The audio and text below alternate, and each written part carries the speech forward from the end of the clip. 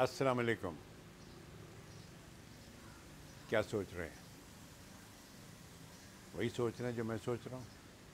Corona corona corona, हर तरफ़ corona. Corona से दहशत जो फैल, फैलती है, उससे बचना चाहिए। कोरोना से बचना आपके लिए, मेरे लिए आसान है।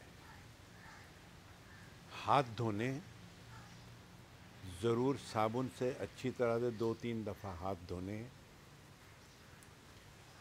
बाहर जाएँ तो लोगों से मुसाफा नहीं करना है, गले नहीं मिलना है। और खाने पीने में विटामिन सी और सब्जियों का इस्तेमाल ज़्यादा करना है। ये कोई मुश्किल काम नहीं है। ये आप आसानी से कर सकते हैं, क्योंकि कोरोना जो है, वो फेटल नहीं है। इसका इलाज भी अब हो रहा है और ज़्यादातर लोग सेहतमंद हो जाते हैं। लेकिन बेहतरीन चीज़ है कि इससे दूर रहा जाए। और दूर रहने का आसान तरीका ये है कि आप घर में रहिए, मुताला कीजिए, पढ़िए, लिखिए। फ़ोन आजकल और टेलीफ़ोन और व्हाट्सएप ऐसी चीज़ें हैं कि अब तमाम जानने वालों, रिश्तेदारों से अपना ताल्लुक़ रख सकते हैं, खैर खैरियत मालूम कर सकते हैं।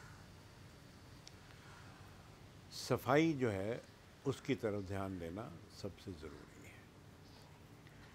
तो मैं ये समझता हूँ कि जो हिदायत बार बार टेलीविज़न पे दी जा रही हैं, उन पे अमल करना चाहिए और इन आपका, हमारा जो ये इम्तिहान एक कौम के तौर पे है इसमें हम कामयाब होंगे और कोरोना वायरस को शिकस्त देंगे।